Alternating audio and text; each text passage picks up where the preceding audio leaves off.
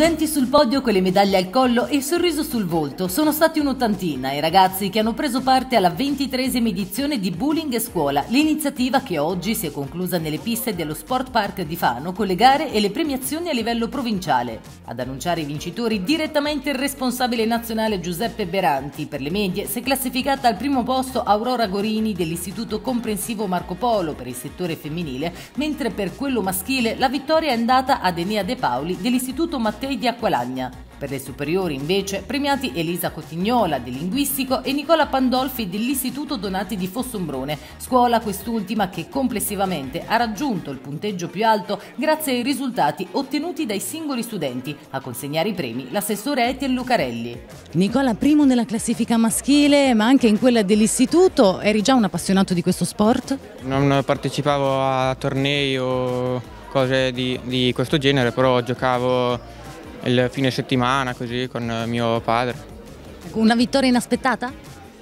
No, sapevo già di essere bravo e non pensavo proprio primo, però pensavo eh, di fare un punteggio alto. Professoressa, che cosa significa per i ragazzi partecipare a questa iniziativa? Rappresenta moltissimo.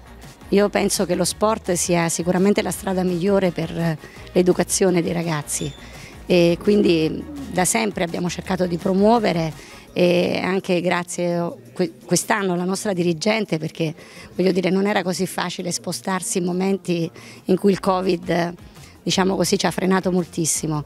Quindi ringrazio tanto la dirigente per questo e ringrazio l'organizzazione come gli altri anni. Insomma noi abbiamo sempre cercato di partecipare e portare i ragazzi in tutte le attività eh, promosse per lo sport, perché riteniamo che sia proprio la strada giusta per la crescita e la formazione personale dei nostri ragazzi. Entusiasti non solo i ragazzi e i docenti che li hanno accompagnati, ma anche il titolare dello Sport Park, Marco Raganini. Dopo due anni di stop a causa della pandemia, finalmente è ripartito anche questo progetto. Sì, finalmente è proprio la parola appropriata perché ci mancava tanto rivedere questa, questa attività che eh, tra gli studenti è, è, bella perché appunto dà una possibilità di nuova di socialità eh, che secondo me a quest'età adolescenziale è importantissima perché ormai in tutte le case è, è sempre più raro portare magari i propri figli a fare attività motoria o, e, insieme ad altri dove si può anche socializzare, quindi attività di gruppo. E qui essendo una cosa che avviene in una classe scolastica, quindi a gruppi di minimi di 20 e poi dopo più classi dello stesso istituto che si ritrovano insieme a, far, a fare questa gara e poi dopo con altri istituti nelle fasi successive della gara è una cosa che secondo noi è bellissima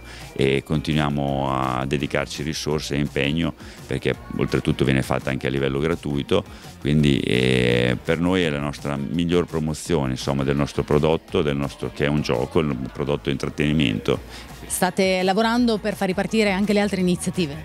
Sì, eh, dopo 25 anni, nel 2019 avevamo già fatto una decina di edizioni nazionali, vogliamo ritornare a fare la finale nazionale con quei numeri che avevamo nel 2019, quindi ci vorrà tanto impegno ma ci stiamo lavorando.